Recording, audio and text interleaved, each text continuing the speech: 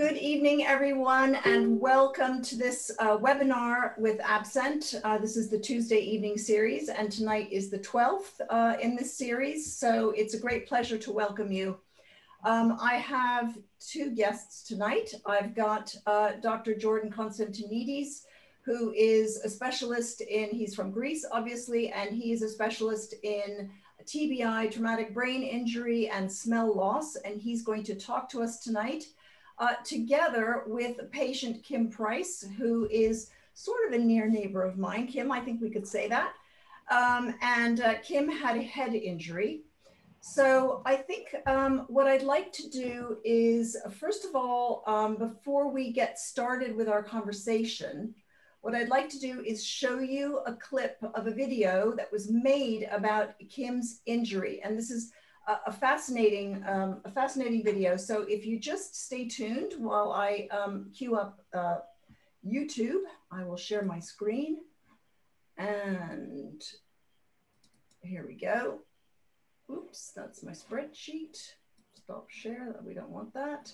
Uh, let's try that again. Right, here we go. Okay, so can you all see that?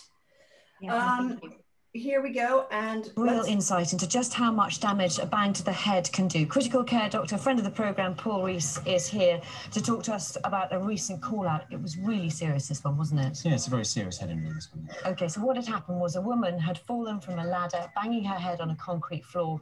And this is what happened when Paul got to her house. Hello there. Hello, doctors. Hiya. Who's this then? Hi Just outside here, or yeah, okay. Are you knocked out at all? Really? Okay. Can you go back east, please, darling, please? Can you? Say again? Can you can you go dusty, please, darling, please? Can you go right, please, darling? Okay. Oh, okay. Please, can you get out of the way, please? Okay. And she fell out here in the conservatory. Okay, fine. About how long ago?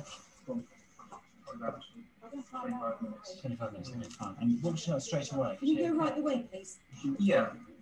Bit dazed, yeah. Um, but yeah, sat up. She wasn't knocked out then, wasn't no, it? No, no, and since then has become a bit more agitated or? Yeah, keeps wanting to get up. Yeah, okay. All right. How are you feeling there? Can I have a little look at your head? She's got a wound there, has she? A wound, okay. Get this. Oh, Steady, can you go out the way, please, darling? Please, please, please, go out the way, please, please. Please. You need to get to the hospital. We're going to have a little scan. Please, darling, go somewhere else. Please, Is that please. very sore? Please, please, go and sit with. Please, Can we just darling. take your jacket off? Please. Would that be all right? Please. And then, uh, Brian, what we'll need to do is get some IV access and uh, give us something to make her feel nice and relaxed. Please go okay. somewhere else, please. Hold on. Please leave us alone, please. Please leave us alone. This is all just caused by a little bang on the head, so wouldn't be too distressed by it. I'm just going to draw up some medication, to make her feel a bit less agitated. Please, can you leave it? So this is not uncommon, okay? So please. get these sorted for them. Well done. Please leave it, please, please. Well done. Next in a moment. Please, can you do it, please? That's great. So I think what we plan to do is actually the lounge is quite warm, isn't it? And there's actually three-sided access in there, isn't there? So we'll lower a sign there, I think. Please leave it, please, please it's actually quite distressing watching that because I don't know Kim, but she's clearly distressed, isn't she? How, how did you? How soon did you realise this was serious? Yeah, I think the job is to work out whether it's important or not when you walk through the door, and the way she hmm. was acting suggests it was was a very serious head injury. And why would she be talking like that then? Well, her brain is essentially starting to malfunction now, so some swelling in the brain or some bleeding is starting to cause pressure in the brain, and that's what's making her behave abnormally. And you realised pretty quickly that you were going to have to act soon, did you? Yeah, it's very clear looking at it that we're going to need to give her an anaesthetic and take her off to a specialist unit where she could have a CT scan and possibly an operation to fix that. So we knew that very early on. Okay, so Nigel, um, her husband, hi there. Um, you are very calm. Okay, everyone, I'm just going to advance the video a bit to show you the last section. this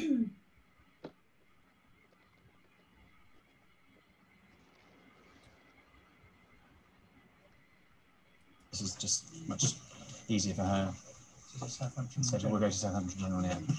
She'll be all right. She'll be all right. Well, Paul said she'll be all right. She is all right. Thank goodness. It's lovely to see you, Kim. Um, yes, and how, how are you doing now, first of all? Yes, not bad. Really, this is better. It was about nine weeks ago this happened. Yes. Um, tell us, looking through that tape, you were talking in an extraordinary way. Do you remember any of it at all? No, I remember being up the ladder and holding the glass window to Nigel, but after that, I don't remember When the was, the, accident at all. when was the next time you do remember? Um, waking in hospital, and I didn't know why I was in hospital. It all became clear a little bit later, Yes. did it? Yes. Um, and how is it affecting you now? Um, I'm just, I do find I get a little tired in the day and um, a little bit lightheaded at times. Mhm. Um, my walking is much better because to start with, it was very difficult to walk. Why were you just were you kind of having to learn to walk again? Yes, it's uh, somehow the injury affects um, muscle memory, and so you just have to build your confidence to be able to walk again. Okay, and you'd obviously injured your head. What exactly had you done? Um, I believe I had um, a subdural hemorrhage Right. and contusions. Those are the technical terms, um, but um, and an open head wound to the back Gosh. of the head. Um, and all is that that's all serious stuff, isn't it, Paul? It, it is potentially serious stuff, yeah. So some bleeding within the brain and some bruising, and you know, potentially that could have needed an operation to fix it. Hence the importance of taking it directly to a hospital where they could have the facility to do that. And just tell us about um, that general aesthetic because you sort of put her into what a chemically induced coma, did you? Yeah, if you like, we're switching off the brain's demand for oxygen. The brain is struggling for oxygen, so we turn that off by giving an anaesthetic. We can control her blood pressure, control her oxygen levels, and then safely get her to the hospital. Normally, this would be done in a hospital, um, and you had not so many people. But Nigel, you were helping out, weren't you? I was as there, well? yes.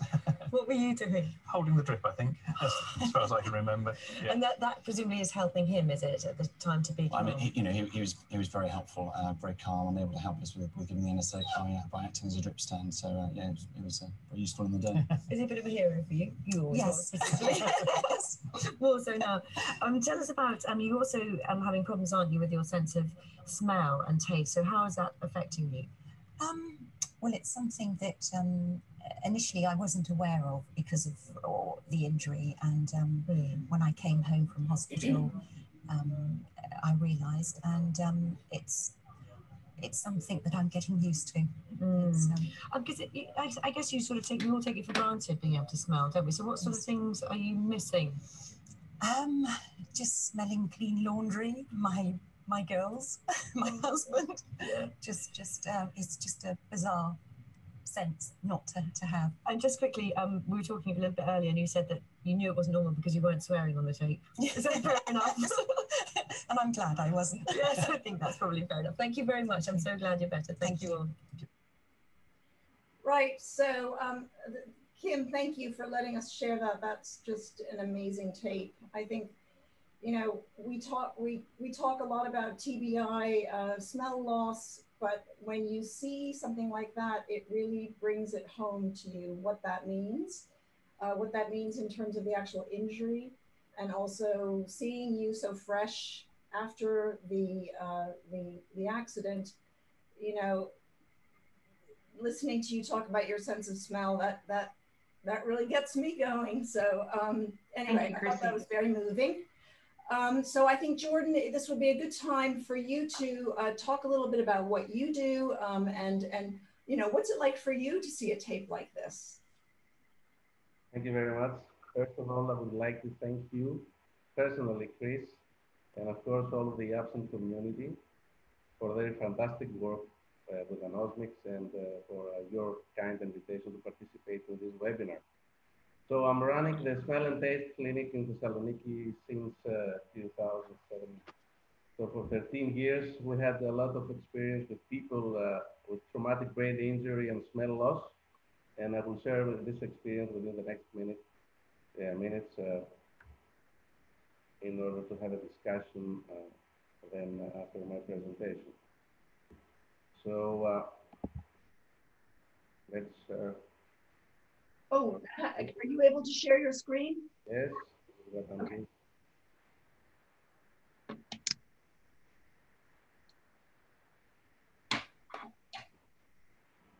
No? uh, hang on a second let's see if i can make some magic happen there you go. You should be able to do that now.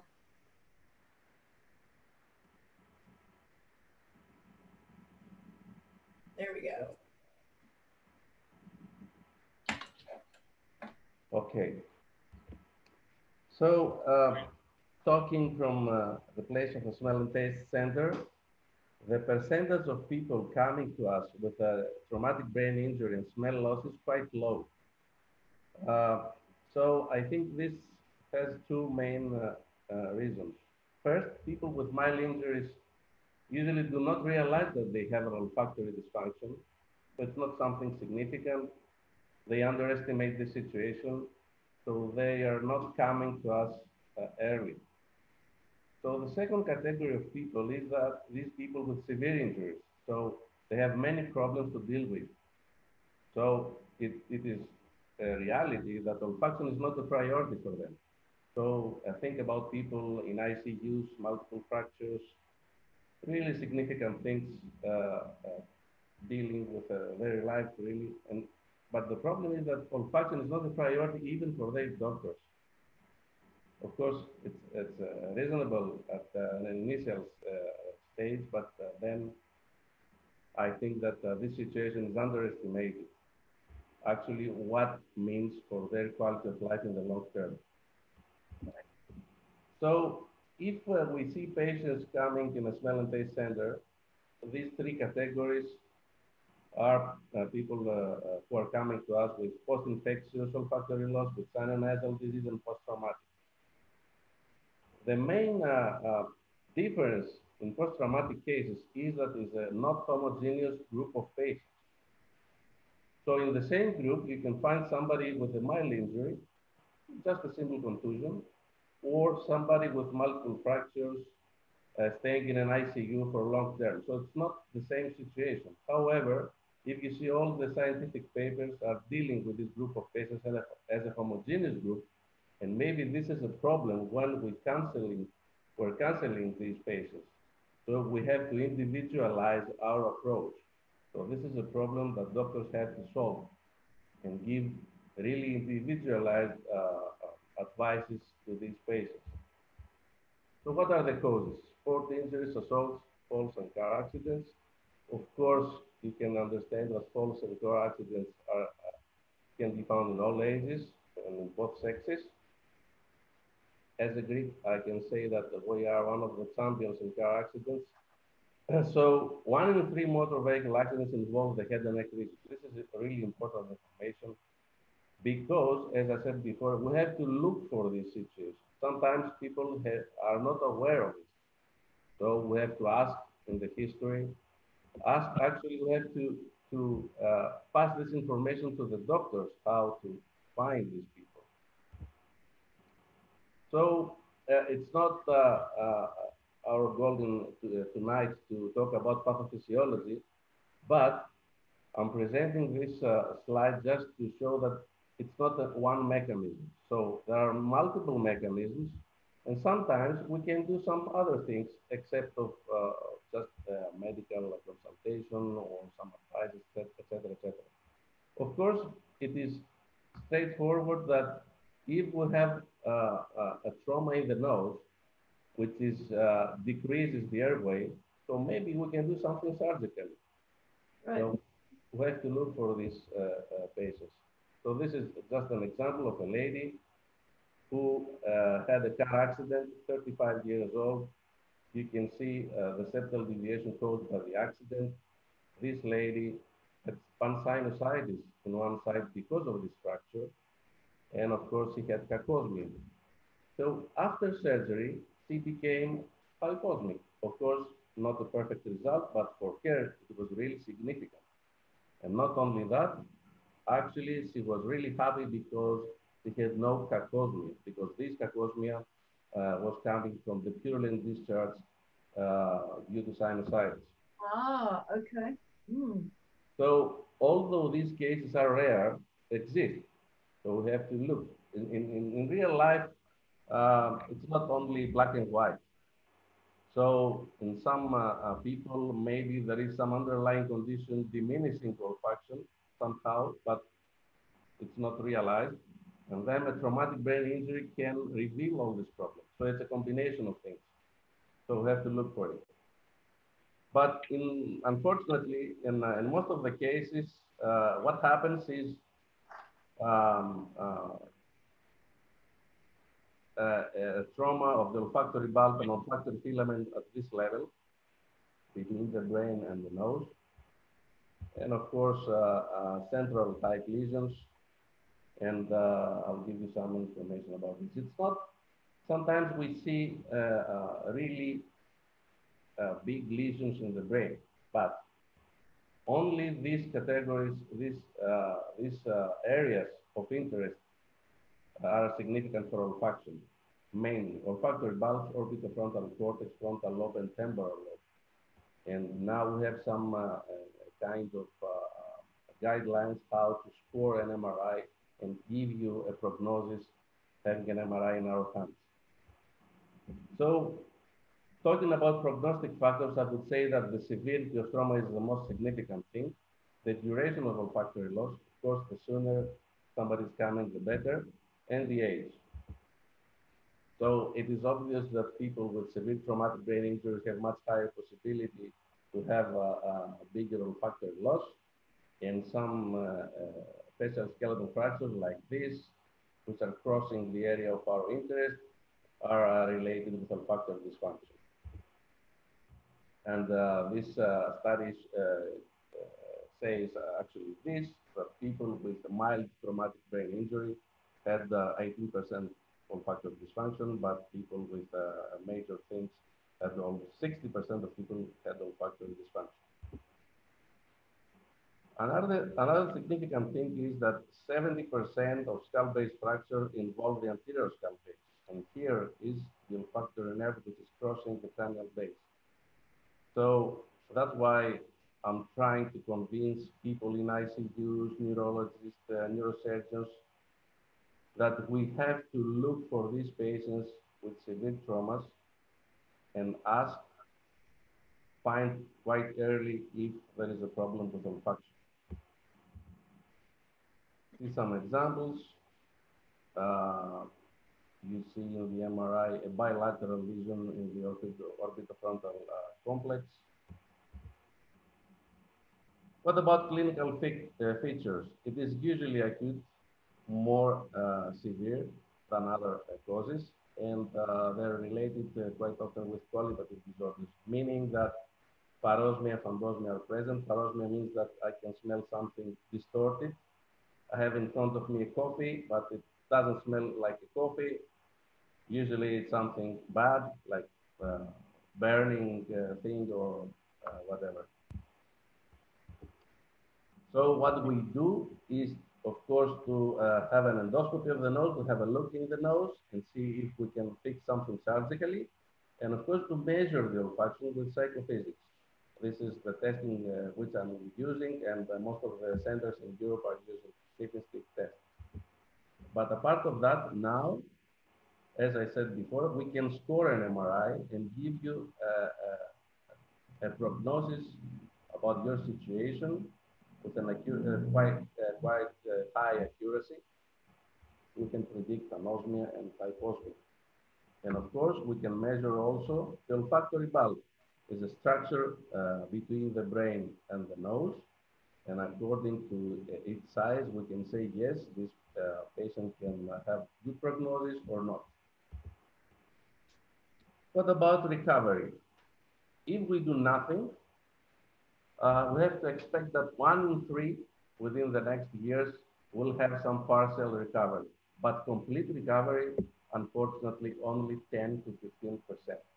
Of course, the significant factor is the remain function. That's why it is significant to measure uh, uh, the olfactory function with these psychophysical tests and uh, we cannot rely only in subjective ratings. Unfortunately, in olfaction, uh, there is a mismatch between subjective ratings if we ask them to rate the olfactory function and what we measure with uh, the special tests.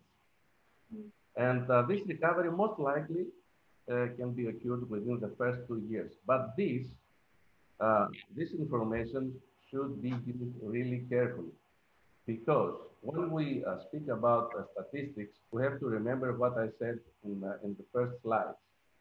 Statistics are coming from a group of, from an inhomogeneous group.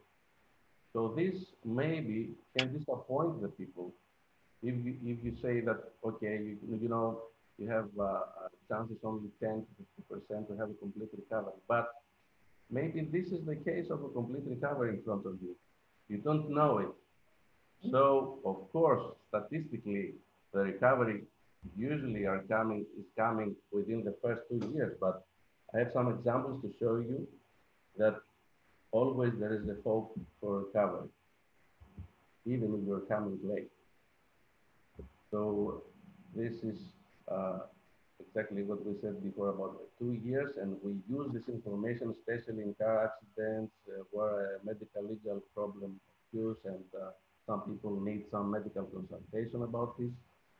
But although we say that, okay, after two years, the chances for, the, for recovery are quite low, it is not zero. So what can we do? Of course, we can uh, uh, give uh, medications uh, or cooperate people with post-traumatic sinusitis. We give some special instructions how to live in their homes. Uh, if somebody comes quite early to us, we can give steroids. There is a big discussion about steroids for how long, uh, if, if, uh, if uh, it really works and when.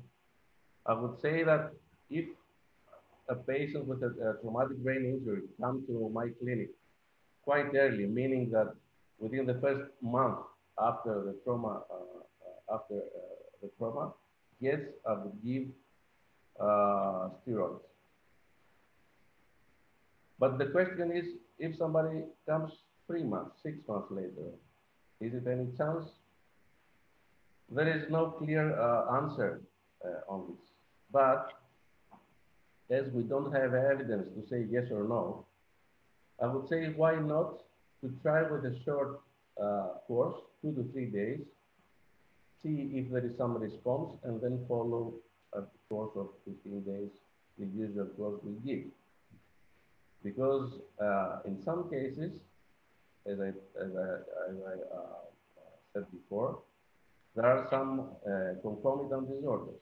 For example, sinusitis, inflammatory rhinitis. So we can have some gain from the other situation. Why not? So uh, it, is uh, welcome, this, this olfactory gain. Last but not least, the olfactory training. So uh, um, people in, uh, involved in olfaction uh, know that the Professor Hummel started this uh, olfactory training uh, some years ago, proposing that this uh, uh, exposure to odors can help olfaction to recover. It seems like acceleration of the normal progress of the of olfactory loss, but uh, in the beginning, we had all, uh, only evidence about post-infectious loss. Now we know that it works in, in traumatic brain injury. This is a study from uh, my uh, uh, center where we showed that if you do nothing, you have a chance for recovery of 13%. But if you do olfactory training, this percentage goes to one in three, more or less. Percent. Okay, it's not perfect, but it's, it's uh, much better than the control group. To improve, usually uh, we have improvement in younger people, people with less duration of the disease and less severe trauma. Um, meaning that, of course, an ICU stay, you can understand that uh, this is something more uh, severe trauma injury and less imaging findings meaning that bilaterality is something uh, significant and uh, decreases the chances of recovery. And again, um, another study showing that olfactory training works in post-traumatic loss, giving some information that is a top-down uh, process.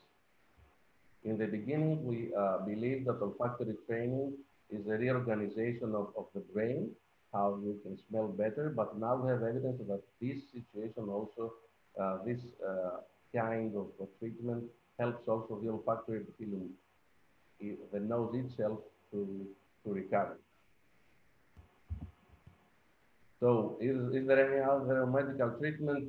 Mm, it, it's hard to say. There are some studies uh, uh, proposing zinc, but this is not clear. And uh, we have some evidence of intranasal vitamin A in drops. It is quite clear that somehow it works in post-infectious disorders. Not really clear in post-traumatic, but I would say also why not? Because it is something um, additional. It's not the main thing. The main thing for me is olfactory training, but in combination, maybe because it works at the level of, of the olfactory epithelium, why not to improve locally the situation, to uh, calm down the inflammation in, in the area of the olfactory epithelium. I would say, uh, why not in, in the uh, traumatic brain injury uh, patients? So the other thing that we have to deal is the uh, long-lasting quantitative uh, disorders like parosmia and phantosmia. Difficult, uh, difficult uh, to, to treat. Sometimes we use a sequential uh, anesthetization with xylocaine of the olfactory cleft to diagnose the situation and maybe to help to give some free intervals uh, from the symptoms. We give hypertonic saline drops. Some people prescribe gabapentin, which is an inotropic uh, medication, and uh, really not often some people uh, propose surgery. I don't have uh, the experience of surgery to excise the whole olfactory epithelium. I feel that this is quite risky. Yeah. And uh, I would propose that uh, a watchful wait and see policy maybe it's better because most of the people with these disturbances are getting better uh, within the next years it resolves, yeah. So uh, usually we prepare the nose with some decongestant and then we apply uh, and see how it works. So when we cancel patient, we definitely have to uh, uh, prepare them to have a gas and smoke detector at their home just to avoid uh, an accident. One in six patients have some accident actually at their homes uh, for getting something in the oven or some things like that. Uh, of course, labeling of foods, it's really significant to avoid uh, uh problems like varieties, for example, attention to personal hygiene. And of course, the diet. For me, it's really significant and also for the patients. I'll give you some details about this later on. And last but not least, the psychological aid. I think it goes together with uh, the diet uh, problems. Yeah. One is triggering the other.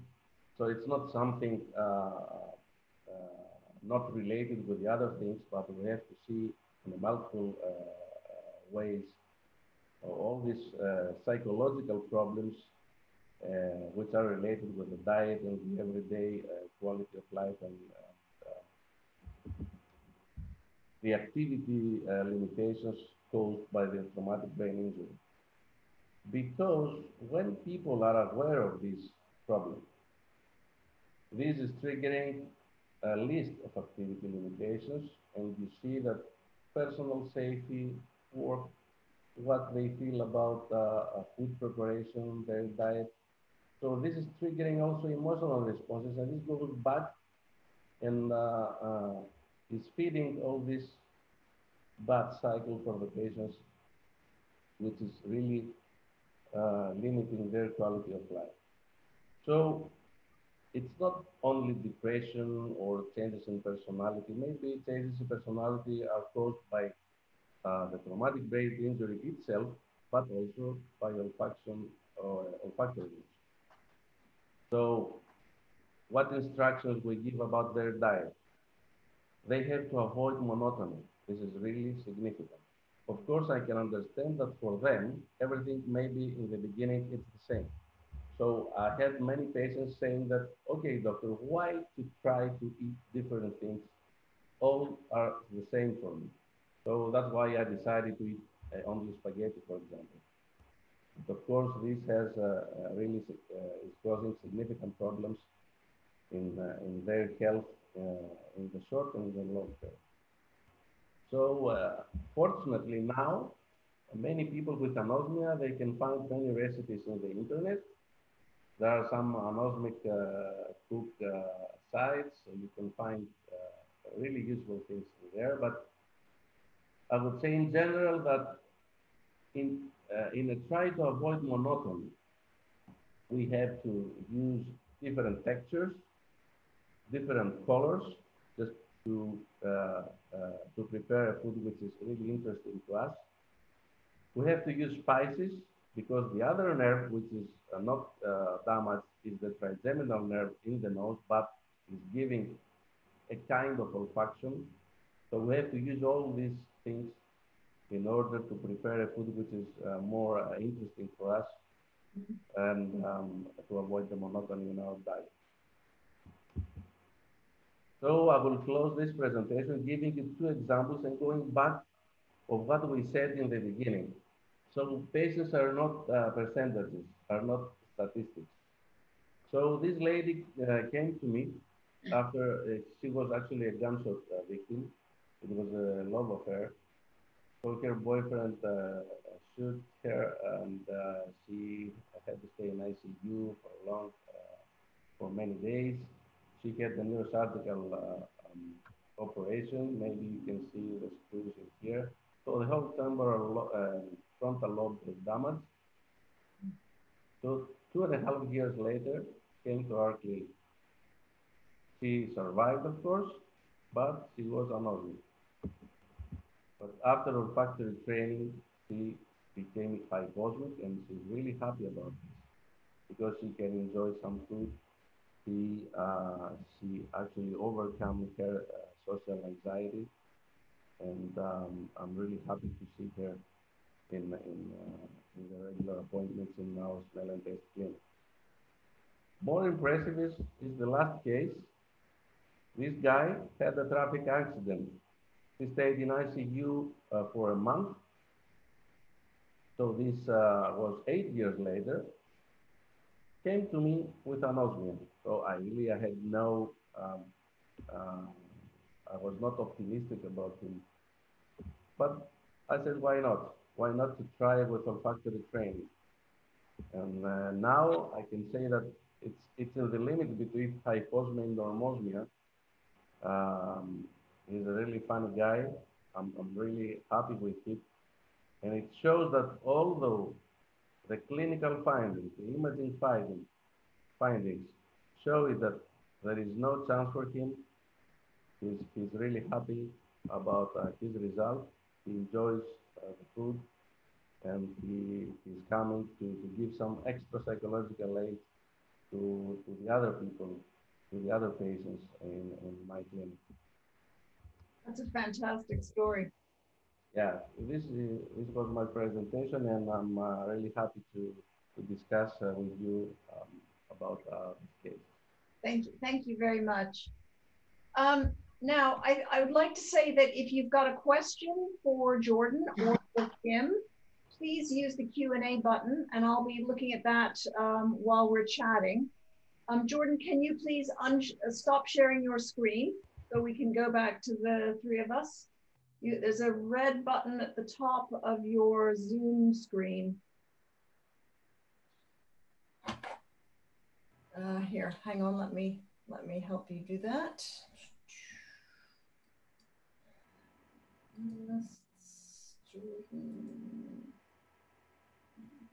Stop sharing. Right, there we go. Okay, so, um, right, Kim, I think maybe what I'd like to do is ask you now, uh, as you, you saw yourself in that opening uh, clip, that was a very powerful clip, and you've heard Jordan speak. Tell us a little bit about your smell loss and where you are now and how you've felt about that over the years.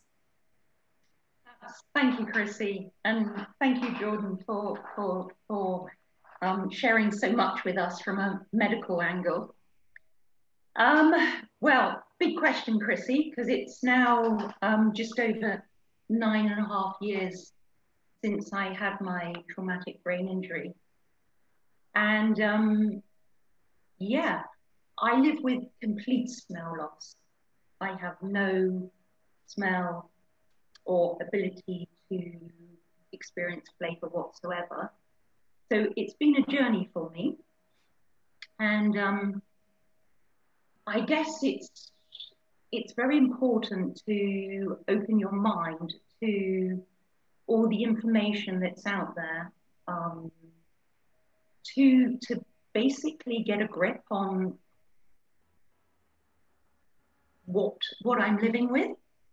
Does does that make sense, Chrissy? Mm-hmm, absolutely. Um, in terms of sorry. Excuse me, Kim, can I just clarify? Um, do you have sense of true taste? Salty, sweet, sour, bitter, and umami? Yes. You do? Okay. Yes. Okay. Yes. And my tri trigeminal nerve works too. Yep.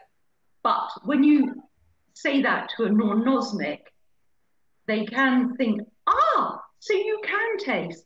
Yes. And that's a tricky one because yes, taste is technically your tongue doing, as you say, the salt, sour, sweetie, bitter, and umami. But in terms of the nuances of flavors, that comes from smell and uh, is it retronasal olfaction? olfaction. Mm. Yeah, so when you chew your food, the, the, the flavors come up through the back of your mouth up into your nasal cavity. Mm, mm. Yeah.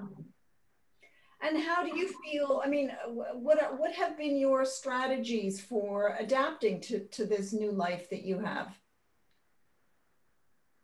Like Jordan said, I think when people um, first experience smell loss, especially if it's because of a traumatic brain injury, there's so much going on. There's so much else to you're concentrating on uh, recovering from the injury, especially if there's other uh, other things involved with the injury. That's that your sense of smell is almost put in the background. And I think, like for me, I think it's I try to just live life without uh, facing it for about three to four years. Um, and then it became apparent that I did need to uh, acknowledge the fact that I couldn't smell and the impact, impact it was having on me, and to open my mind and to basically own up to it because it's a very, very personal loss. Mm. And um, I think currently it, it's easier because of COVID 19 because anosmia is way more recognized. But uh, if you rewind back to when my accident happened and the, the, the, three to four years afterwards, nobody, nobody knew what, or very few people knew what anosmia, the word anosmia was. And if you Googled it, it didn't come up. Whereas COVID has brought that to um, to everybody's attention more so. And mm-hmm. also, I think in trying to find out more about my sensory loss, it does open corridors and you meet lots of wonderful people like yourself, Chrissy, who's championed smell training, which I totally get. I totally understand it. I have to put my hand up and say, I don't necessarily, well, I don't think it's going to work for me because obviously nine and a half years plus in, and also because of the severity of my brain injury. And I can go into that, and Jordan would totally understand what I'm going to say if I did. But I don't think it's necessarily going to work for me, but I do get the concept. And I do, if, if there's a hint, if you have a hint of any smell,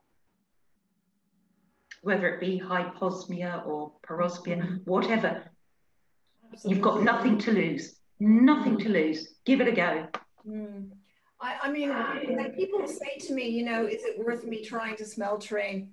I always say, if you can put two things in front of you, you know, put a blindfold on, uh, and they should be two really different things. You know, maybe it's a coffee and a lemon or a sprig of rosemary and some peanut butter, whatever it is. if you, if blindfolded, you can perceive a difference between them. It doesn't have to be, it, it can be the weakest imaginable Mm-hmm. signal with no real meaning to it. But as Mm-hmm. long as you recognize a difference between one thing and another thing, then you should then you should give it a go because Yes, it's definitely. just enough Definitely. signal. Mm. And also, sorry, it's it's a bit like um, fitness. It, I think you've said before, Chrissy, it's like um, physiotherapy for the nose. And it's like if I chose to go down to the fitness class uh, because I want to build some muscles, and I might turn up for the first class and be quite despondent because one, I'm out of my comfort zone, and two, after I realised that I'm not very good at my fitness, and three, I came out of the class and I haven't got the muscles. Whereas if you pursue it and keep at it and keep at it, if it's going to work, if it's going to work, it, yeah, you've got to give it, you've got to give it um, commitment. Yeah. Be open-minded. Um, uh, Jordan, uh, I, I think it was you that I heard in a lecture once talking with this is this is about the severity of the injury and the likelihood of total loss of smell. In, in other words, the likelihood of a complete um, severing of the olfactory nerve. And I'm, I'm trying to remember if it was you that told me about um, uh, an experiment that they did on the olfactory nerve to sort of work out how much tension you'd have to put on it Oh, yeah. It tore, and it was sort of three grams or something. Am- Am I remembering that right? Yes, that's true. It was an experimental study showing that just a few mLs of water needs to, to share the olfactory filament from the uh, skull base. So of course it was experimental, it was a cadaveric study. It's not the real life because if you ask the neurosurgeons, they will say that oh, no, it's not really easy to detach the olfactory nerves from the skull base, but I think the truth is in between. So now, that's why uh, with a small contusion, you, you can uh, have a smell loss. Otherwise, if it was difficult to injure the olfactory filaments, we won't have smell losses in, in, uh, in mild injuries. Right. Don't know the exact mechanism, but maybe there is a shearing of the olfactory filament, but I would say also maybe we have an ischemia uh, in no uh, blood supply because of all this edema in this area. And um, uh, we need more studies to, to, to say something about this. I will Right. say uh, of uh, what Kim said before, that it, it's a good way to see olfactory training as a physiotherapy of the nose, but especially for people with uh, traumatic brain injury, they have to expect that it's a long journey. I mean, it's easy to uh, uh, say about olfactory training in post-infectious uh, patients because after a couple of months they see some improvement. So it's it's a good uh, boost to uh, it's a good for them to uh, how to continue this long training scheme because especially in Greece it's difficult to convince people to follow something for four months, for six months, waiting for some improvement. So I'm trying to give them appointments after one and two months, saying, okay, it's not something which is coming back really quickly. You have to, to wait and be patient with this. Uh, and yes, after four to six months, I would say we can see some improvement. Uh, this is the main difference between the post-traumatic patients and the other categories, like the post-infectious disorders. So um, they need to be uh, really uh, focused on this. And it's really hard to, to convince them. So they need our support to this. Uh, that's why I talk about multidisciplinary approach. Okay. Um, now we've got we've got some questions. We got two questions from the same anonymous attendee. So I'm going to start with the second one because I have a question about your first question, anonymous. Um, uh, so we're going to start with Kim. Uh, the question for you is: Given that so many people are currently struggling with COVID-related anosmia, what would be your top tips for coping and compensating for this? Wow, good question. Fantastic question. Woo. Um, okay, for me, uh, connecting with nature. Nature is beautiful. Um, the garden, the park, walks in the forest, um, just appreciating the beauty, the, ch the changing color of the trees. That's one thing. Um, bird song, yeah, nature. And then going on from that, I guess it's really important to um, sort of not let it get you down and to to do to, to get out there, to get walking if you can. Uh, cardiovascular exercise is so important to get those endorphins going. Um, music's a good one. Uh, bringing flowers into the kitchen so that when you're washing up, you can look at the flowers and it makes you smile. And when you're cooking and you're feeling a bit down because you can't smell the onion or this or that, you get the music on and let that drown out the sorrow. It's, it's interesting what you said about getting out into nature with the autumn colors because I found that I craved bright colors. Yeah. You know, that, that, yeah. that just beautiful, um, beautiful colors in, in, and, you know, as you say, in flowers or in textiles or in what I was mm. wearing or mm. wherever I cast my eye or going to a museum Yes. Uh, I found that uh, very, very beneficial. Yes. Yeah. Good, very good question. Yeah. Sometimes, uh, go ahead. people gives you uh, information that uh, you never thought about it. I remember a lady who came with improvement in uh, her olfaction, saying that I'm happy because I can smell my baby. Yeah. So it was it was really emotional for her. Yeah. I would understand that before, but uh, now I can understand how this connection of people is mm-hmm. coming through also the smell. Yeah. So how important is to, to create uh, uh, all this system, which is chemical mm. and emotional together. Mm. It is huge because, um, Jordan, you probably know what I'm touching on now, but the the sense of smell is so directly connected to the amygdala and the hippocampus, where the uh, emotion, basically, it's the emotion center and the memory center, if I'm correct.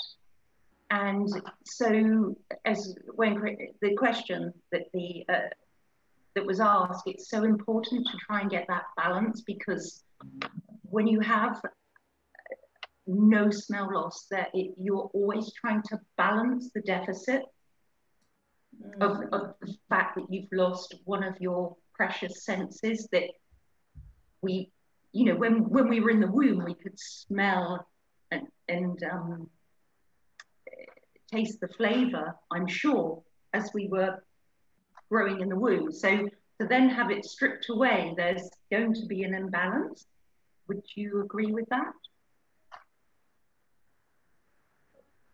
Sorry, are you asking?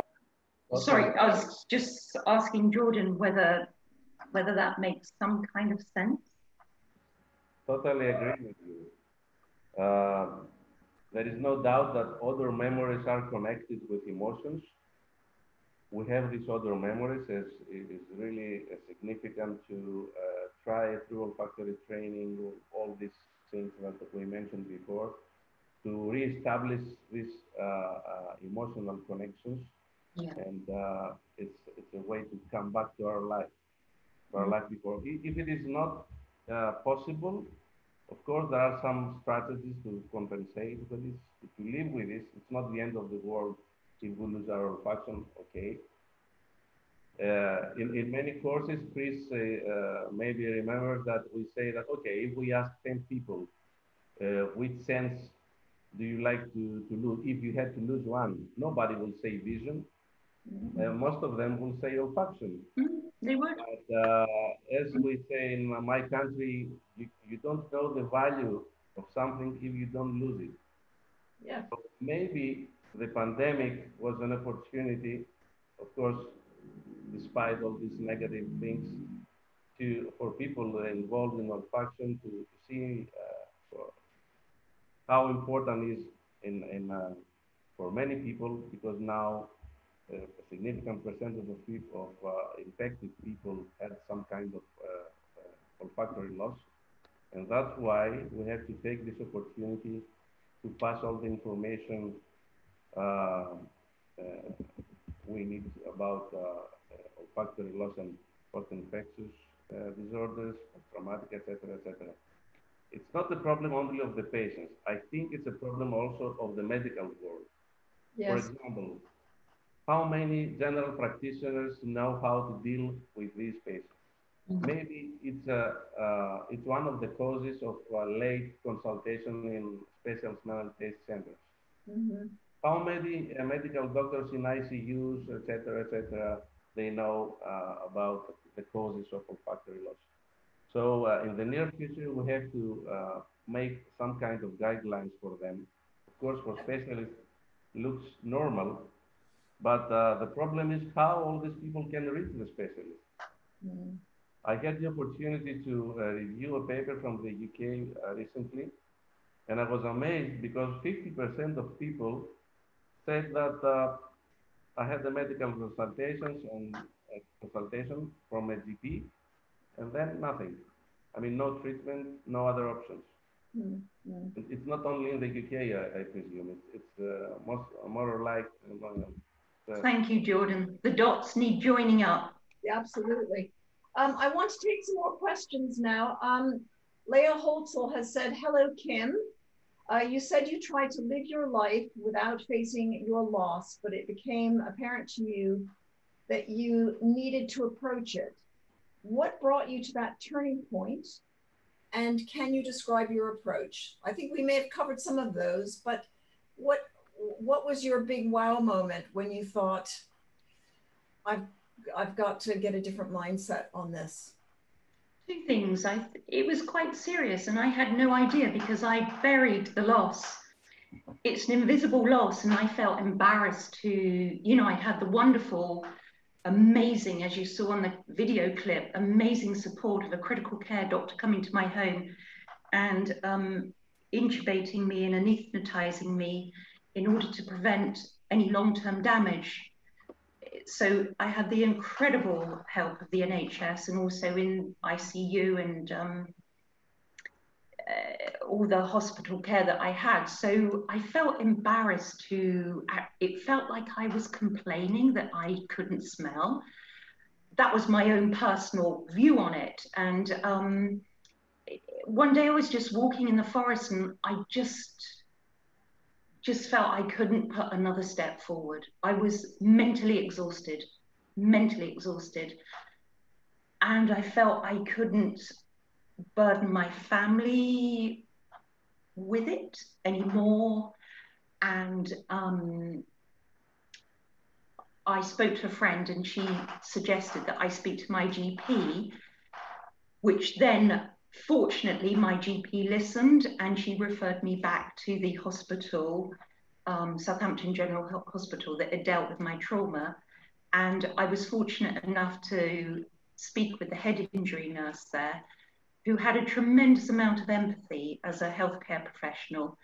And that was quite a, a, a moment in as much as after sort of speaking about it and um, having some precious time to to just unload three and a half years of stored up emotional sadness, um, she suggested that I treat the loss as a bereavement, and that's quite a biggie. And that was that was the turning point for me to slowly accept my loss and go forward. I hope I hope that's answered the question. Yeah, that's yeah. Thank you, thank you for that. Um, I have another question now from Kate. Um, she says, I missed the beginning of the session, so apologies if this has already been answered. How and where is smell training available in the UK? Well, Kate, you have come to the right place. uh, uh, Kate, if you go onto the abscent.org website, um, we've got uh, two places that you can find out about smell training there.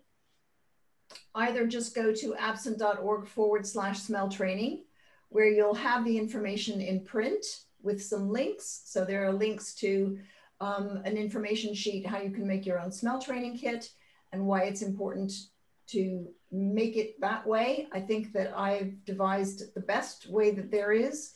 Um, I wouldn't be offering you the second best way. Um, and I, I do think there are very good reasons for designing it the way I have. So you can read about those in that little brochure. Um, then there is another brochure that will help you, which, which has a little diary in it. There's an explanation so you can keep track of your smell training. Um, you'll be doing this long term if you have a head injury. So do be prepared um, to be keeping a diary for a little bit longer. Um, if you'd rather get your information about smell training from a video, when you go onto the abscent.org website, um, there is, we have a new section that we've uh, built with the British Rhinological Society called Nosewell. That was made in response to the COVID-19 crisis. Um, but the section on smell training is every bit as applicable to you as it is to anyone who's had COVID-19. So you can find out about that there. We have lots of uh, other webinars um, on our YouTube channel, which you can just find at YouTube by Googling, uh, by searching uh, on YouTube for AbScent anosmia support. Um, this is, as I said in the beginning of, of this, uh, of the hour, this is our 12th um, webinar on a range of topics that I think have broad interest to everyone, whether you're a head injury patient or um, a post, post-viral loss patient. So I hope that answers your question. And if you're not, um, if you haven't joined us on Facebook yet, do join that conversation because um, we've got uh, at the moment 9,000 people um, in the COVID-19 Facebook group and over, I think, soon to be 6,000 in the AbScent original group. Um, and we discuss smell training all the time. So do, do come along there and uh, ask questions or listen in. Right, so the next question we have here is, let me just, uh, is from Michelle. And she says, I lost my sense of smell six months ago. I'm not sure if COVID or another viral infection. So welcome to the TBI uh, hour, uh, Michelle. Um, uh, she says she's had an MRI and a neurologist said it all looked fine and my sense of smell should come back. Before smell training, is there anything else I should rule out first? Well, Jordan, you're the doctor here. Uh, I realize this is not a TBI question, but would you would you like to say what you would do if if someone came in and just had um, smell loss, as Michelle has had? So yes, uh, although the, the post-infectious is not our topic, I would say that olfactory training is the main thing, and uh, we have better percentages of uh, improvement uh, in this category of uh, people. Uh, after olfactory training, usually 60 to 65 percent of uh, patients have some improvement, which is really important. Another two things that I could try is an oral steroid course, but with the limitations that we have in, in COVID-19 patients. Uh, in my opinion, steroids in the most of, of these people do not work, but we don't know whom of them. I mean, who is the suitable pay, patient for, for steroids? Um, it's not a patient who is coming quite late. So let's say that we have a history of one year after post, uh, uh, after an infection. So I wouldn't try with steroids. But if some somebody is coming uh, quite early, within the first two to three months, yes, I would try a short course. Uh, the other thing is if there is a concomitant uh, disorder. So if it is combined sinusitis, if our uh, um, clinical evaluation shows that there is an inflammatory condition in the nose, yes, I would try with steroids also. And the third thing is the uh, intranasal vitamin A. It seems that it works, especially in post-infectious uh, cases, in combination with uh, olfactory training. So if we combine olfactory training with uh, vitamin A drops in the nose, then uh, things go better.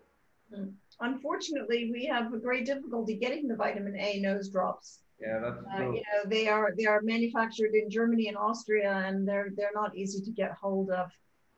To be honest, uh, most of uh, the people here in Greece uh, they uh, um, try to, to get these drops uh, via internet Yeah. from Germany, mainly from Germany. Yeah, yeah. Um, I'm I'm sorry to say that we our time is up tonight. Um, and as usual, the hour has flown by. So um, I would just like to say thank you very much, Jordan, for being my guest tonight. It And- was a pleasure for me. I'm so glad. And and Kim, thank you for sharing a a very powerful and very moving story. Also very harrowing for anyone who- has themselves had a head injury to watch that. So I know that was a brave thing to do. So thank you very much for sharing. Chrissy, may, sorry, may I just interject for very quickly? May I? Smell training. It's, I don't think it's going to work for me, but what I would say is when you do smell train, is have the visionary thing as well. Absolutely. Because I think, like, and like Jordan said, it also comes from above as well. So if you can build the picture and and not get despondent and use visual aid as well, it, it could help. Yes. There you go. Good. Thank you. so, um, and in two weeks, everyone, I will be um, on with Duika Burges Watson, and I think we're going to have one other guest. We're going to be talking about coping strategies for people who have had uh, this terrible parosmia, which is coming along with a lot of COVID 19 cases. Um, we're going to be talking about that and how people can hopefully improve their, um, their experience of food. So that will be very exciting in two weeks. Um, this will be taped and put up uh, into the into, onto our um, library of, of webinars on YouTube. So you can also watch it again if you wish. So thank you very much, everyone. Good night and see you another time.